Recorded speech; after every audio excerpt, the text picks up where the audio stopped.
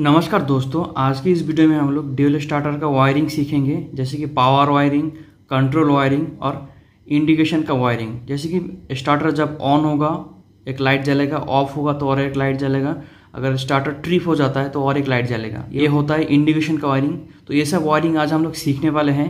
और हम लोग ये भी देखेंगे कि पावर वायरिंग के लिए और कंट्रोल वायरिंग के लिए क्या क्या इक्विपमेंट और क्या क्या डिवाइस चाहिए। तो ड्राइंग बहुत ही सिंपल होने वाला है। वीडियो को एंड तक देखिएगा। मेरा नाम है Pankaj and welcome to the engineering वाले। तो फिर चलिए दोस्तों वीडियो को स्टार्ट करते हैं। दोस्तों, मैं यहाँ पे ऑलरेडी पावर वायरिंग और जो कंट्रोल वायरिंग होता है ऑलरेडी मैं यहाँ पे बना के रखा हूँ। अगर वीडियो में बनाने लगूँगा तो फिर टाइम वेस्ट हो जाएगा वीडियो लेंथी हो जाएगा। तो बहुत ही सिंपल डायग्राम है। ध्यान से देखिए, समझ में आ जाएगा कैसे कैसे क्या हो रहा है ओके फ़र्स्ट हम लोग देख लेते हैं कि ड्यूल स्टार्टर बनाने के लिए क्या क्या डिवाइस हम लोग को चाहिए। थ्री पुल का एम चाहिए ओके और पावर कॉन्टेक्टर एक चाहिए देन एक ओवरलोड रिले चाहिए मोटर तो होगा ही होगा, जो कि थ्री फ़ेज़ इंडक्शन मोटर होगा। और उसके साथ साथ तीन इंडिकेशन चाहिए, एक रेड कलर का ग्रीन कलर का और एक ऑरेंज कलर का। देन हम लोग को एक एड एंड ब्लॉक चाहिए, जिसमें N O N C contact होगा। N O N C push button चाहिए दो, एक एन सी के लिए और एक एन ओ के लिए। और कंट्रोलिंग वायरिंग करने के लिए 2.5 नहीं तो 1.5 स्क्वायर एम का केबल चाहिए। और पावर वायरिंग के लिए जो केबल सिलेक्शन होगा, वो जो मोटर का फुल रेटेड एम्स होता है, उस हिसाब से सिलेक्शन किया जाता है। इसके ऊपर मैं कभी और एक वीडियो बना दूँगा कि यहाँ पे जितना भी इक्विपमेंट जो यूज़ कर रहे हैं, कैसे सिलेक्शंस किया जाता है, क्या होता है। ये एम जो मोटर का फुल लोड जो एम्स है, इसके बेस में सिलेक्शन किया जाता है। देन पावर जो कॉन्ट्रेक्टर होता है, इस कॉन्ट्रेक्टर को भी, इस, ये जो मोटर का जो फुल रेटेड एम्स है स्टार्टिंग एम्स है, इसके बेस में सिलेक्शन किया जाता है। देन जो ओवरलोड रिले है, जो मोटर का फुल लोड एम्स है फुल रेटेड एम्स है, उसके हिसाब से भी ओवरलोड रिले सिलेक्शन किया जाता है ओके और इसका जो पावर का जो वायरिंग मेन जो वोल्टेज होगा four fifteen voltage A C होगा और जो कंट्रोलिंग के लिए जो वोल्टेज यूज़ करते हैं टू थर्टी वोल्ट एसी तो दो वोल्टेज हम लोग यूज़ करेंगे और ये सब इक्विपमेंट यूज़ हम लोग करेंगे। तो नेक्स्ट अभी देख लेते हैं हम लोग कि पावर वायरिंग कैसे करेंगे ओके तो यहाँ पे देख सकते हैं four fifteen voltage A C जैसे कि आर वाई बी फ़ेज़ आ रहा है, ठीक है? तो यहाँ पे टैपिंग करके आर फ़ेज़ से देन वाई फ़ेज़ से देन बी फ़ेज़ से MCB का जो इनपुट है एम का इनपुट में ऐसे कनेक्शंस कर देना है, जैसे कि यहाँ पे देख सकते हैं एम सी का सिंबल ऐसा कुछ होता है। देखिए फ्रेंड्स इलेक्ट्रिकल ड्राइंग में ना सिंबल जो होता है, बहुत ही इंपॉर्टेंट होता है। अगर सिंबल आप लोग को पहचान में आ गया तो ड्राइंग करना बहुत ही ईजी हो जाता है। तो ये एक सर्किट ब्रेकर है, जैसे कि सर्किट को हम लोग ऑन करेंगे और ऑफ़ करेंगे। ठीक है? ये मेन पावर वायरिंग का है। MCB एक चाहिए। MCB के बाद हम लोग एक चाहिए, जो कि कॉन्टेक्टर यहाँ पे देख सकते हैं कॉन्ट्रेक्टर को हम लोग इस टाइप का ड्राइंग करते हैं के वन कॉन्ट्रेक्टर ये वाला। तो ये एमसीबी जब हम लोग ऑन कर देंगे ऑन करते क्या होगा पावर यहाँ से आगे आ जाएगा तीनों फ़ेज़ आके जो कॉन्ट्रेक्टर का जो इनपुट है, यहाँ पे आ जाएगा। और जो कॉन्ट्रेक्टर होता है ना, इसमें कंट्रोल वायरिंग हम लोग देते हैं, जो इसका कॉयल होता है। ए ऑन और ए टू दो कॉयल होता है, एक एक न्यूट्रल देते हैं और एक फ़ेज़ देते हैं। जब इसको कॉयल में जब सप्लाई मिलेगा, तब जाके ये पिकअप होगा। और जो हम लोग का जो वोल्टेज है, जो पावर है, आगे ये पास करेगा। तो यहाँ से डायरेक्ट पास हो जाएगा। पास होते ही जो ओवरलोड रिले है हम लोग ओवरलोड रिले पे आएगा। यहाँ पे देख सकते हैं O L R overload relay ये मोटर का प्रोटेक्शन के लिए हम लोग यूज़ करते हैं। यहाँ पे एक छोटा सा एक, एक रोटरी स्विच जैसा रहता है। उससे हम लोग मतलब एम्पियर कितना हम लोग सेट करना है सेट करते हैं। बेसिकली इंडस्ट्री में जो जितना भी मोटर है मोटर का एम्स एट्टी से नाइन्टी परसेंट के बीच में सेट किया जाता है ऑफ़ मोटर का फुल लोड एम्स उसके बाद डायरेक्ट ओवरलोड रिले से हम लोग का जो मोटर का जो टर्मिनल होता है यू इसमें दे देते हैं। ऐसे देने से हम लोग का जो मोटर है स्टार्ट हो जाए तो जो पावर वायरिंग है, बहुत ही सिंपल है, देख सकते हैं। डायरेक्ट यहाँ से आया एमसीबी से होते हुए कॉन्ट्रेक्टर से होते हुए ओवरलोड रिल से होते हुए यहाँ पे आ गया। पूरा लाइन लाइन एक सीरीज़ बाई है, ठीक है, देख सकते हैं। इसके स्क्रीन ले लीजिए, काम पे आएगा। तो फिर नेक्स्ट हम लोग देखते हैं कंट्रोल वायरिंग एक कंट्रोल वायरिंग बहुत ही इंपॉर्टेंट है, ध्यान से देखिएगा। तो दोस्तों, यहाँ पे देख सकते हैं कंट्रोल वायरिंग कुछ इस टाइप का है। यहाँ पे दो टाइप का वायरिंग है। इस साइड में जो है इंडिकेशन के लिए मतलब ये जो मेन जो पावर कॉन्टेक्टर है, जब ऑन होगा तो यहाँ पे ऑन इंडिकेशन चलेगा ऑफ़ इंडिकेशन चलेगा। अगर ये जो सर्किट जो कंट्रोल सर्किट है, अगर ओवरलोड ट्रिप हो जाता है तो ट्रिप इंडिकेशन चलेगा। इसका वायरिंग हम लोग बाद में देखेंगे। तो पहले हम लोग जो मेन कंट्रोल वायरिंग है, ये वाला देखते हैं। तो कंट्रोल वायरिंग के लिए जो वोल्टेज यूज़ किया गया है two thirty volt A C fifty तो देखिए यहाँ से एक फ़ेज़ है। और न्यूट्रल है, जो यहाँ पे देख सकते हैं न्यूट्रल न्यूट्रल हम लोग डायरेक्ट दे देते हैं। यहाँ पे जो मेन जो पावर कॉन्टेक्टर है, मैं पहले ही बोला था कि कॉन्टेक्टर में एक ए ऑन ए टू दो टर्मिनल होता है। एक में हम लोग न्यूट्रल दे देंगे। देखिए, नीचे से जितना भी यहाँ पे न्यूट्रल है डायरेक्ट यहाँ पे प्रोवाइड कर दिए गए ठीक है? ये लैम्प का इंडिकेशन है। इंडिकेशन कुछ इस टाइप का हम लोग देते हैं। ये लाइट है। तो डायरेक्ट डायरेक्ट न्यूट्रल हम लोग इसमें ऐसे डायरेक्टली प्रोवाइड कर देंगे। अभी मेन पॉइंट आता है कि फ़ेज़ फ़ेज़ को हम लोग को घुमा घुमा के लेना पड़ता है। देखिए, इसके लिए एक सिंगल पुल का एमसीबी चाहिए। इसको, इस सर्किट को कंट्रोल करने के लिए अगर शॉर्ट सर्किट कुछ हो जाए तो फिर ट्रिप हो जाए तो सिंपल पुल का एमसीबी चाहिए। इसका जो एम्पे रेटिंग बहुत ही मिनिमम होता है।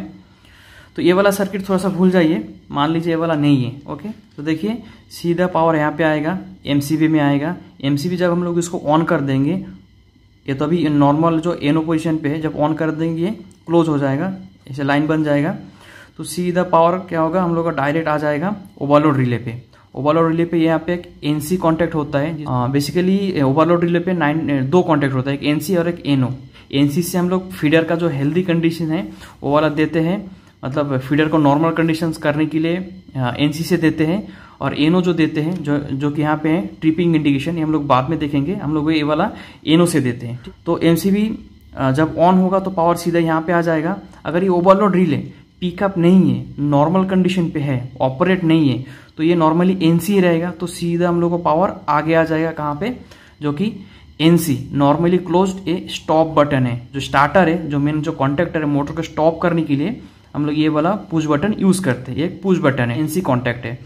तो इसका बिहेवियर ऐसा है कि ये नॉर्मल कंडीशन पे एनसी रहता है। जब इसको हम लोग प्रेस करेंगे, तब ये एनो हो जाएगा। अगर आप लोगों को पता नहीं है कि एनो एनसी क्या होता है, इस वीडियो का डिस्क्रिप्शन में एक लिंक मिल जाएगा। वीडियो का लिंक वहाँ पे मैं प्रैक्टिकल करके दिखाया हूँ कि एनो एनसी क्या होता है। यहाँ पे देखिए, ये एनसी है। ये नॉर्मली अगर एनसी रहेगा, अगर ये ऑपरेट नहीं रहेगा, कोई अगर हम इसको प्रेस करके नहीं रखा होगा तो सीधा हम लोग को पावर आ जाएगा यहाँ पे, जो कि कहाँ पे आएगा?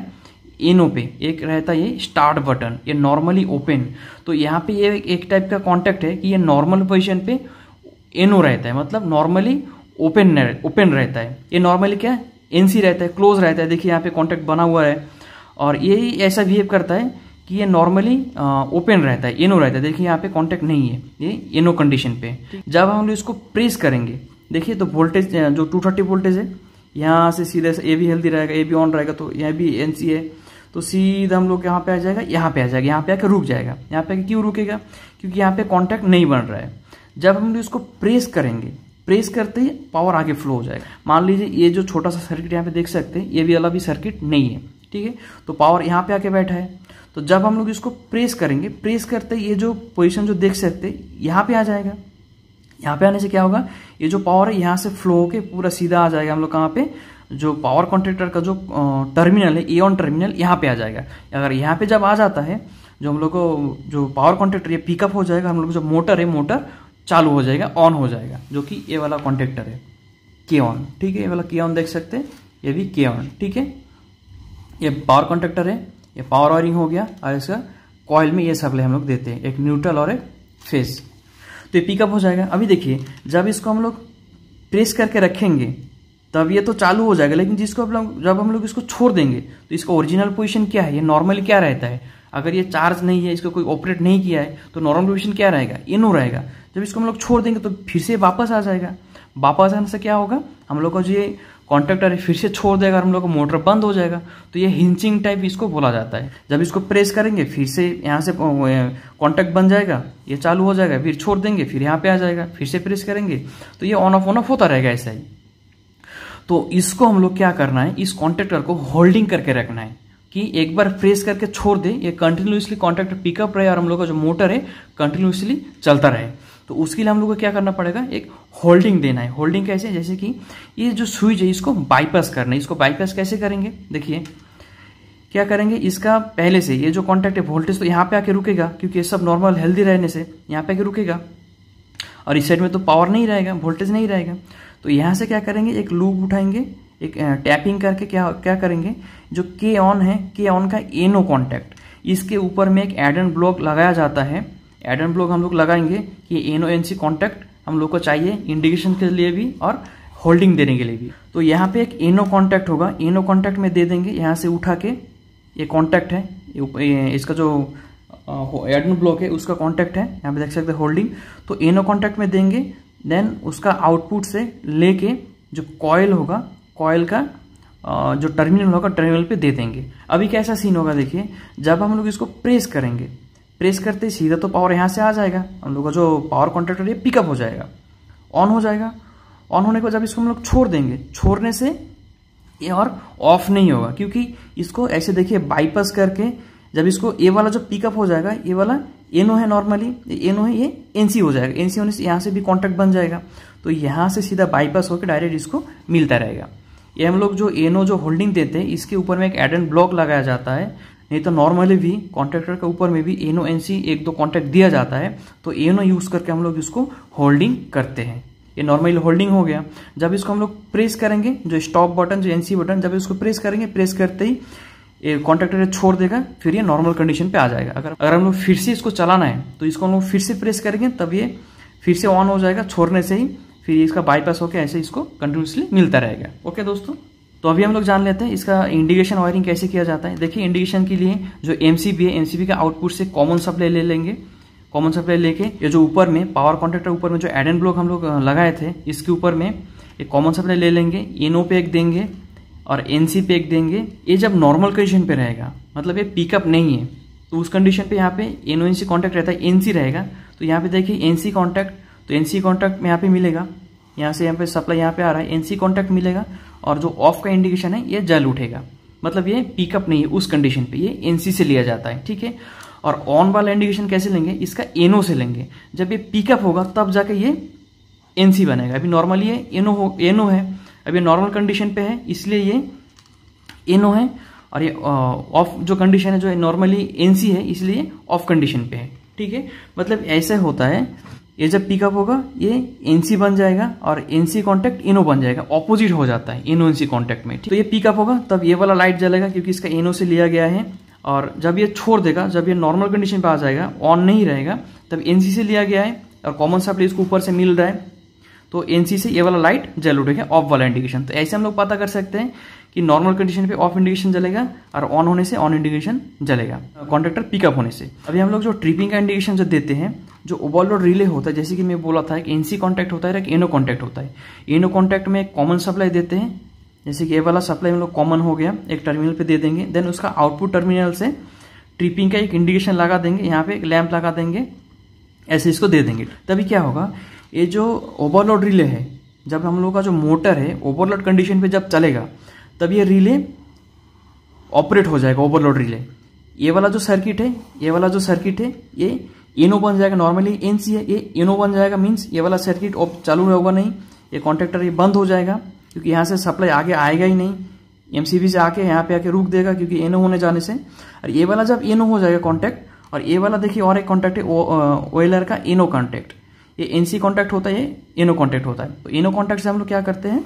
ट्रिपिंग में देते हैं। तो मैं पहले ही बोला था कि दो कॉन्टैक्ट होता है एनसी और एनो जब ये ओवरलोड रिले ऑपरेट होगा तो एनसी एनो बन जाएगा और एनो एनसी बन जाएगा। ठीक है, यहाँ पे क्या हो रहा है? तो एनसी है एनो बन जाएगा, ये सर्किट बंद हो जाएगा और हम लोग जो एनो वाला है, ये एनसी बन जाएगा। एनसी बनते ही क्या होगा? यहाँ पे कॉन्ट्रैक्ट कंप्लीट हो जाएगा। यहाँ से सप्लाई आगे आते हुए हम लोग जो ट्रिपिंग जो ये लैंप है, इसको जला देगा और हम लोग समझ जाएँगे, ये जो मोटर है ओवरलोड हुआ है। ओके तो दोस्तों, ऐसे होता है कंट्रोल वायरिंग और पावर वायरिंग अगर अगर आप लोगों को क्वारी हो तो नीचे कमेंट कर सकते हैं, मैं आंसर करने का कोशिश करूँगा। आज के लिए इतना ही। Thanks for watching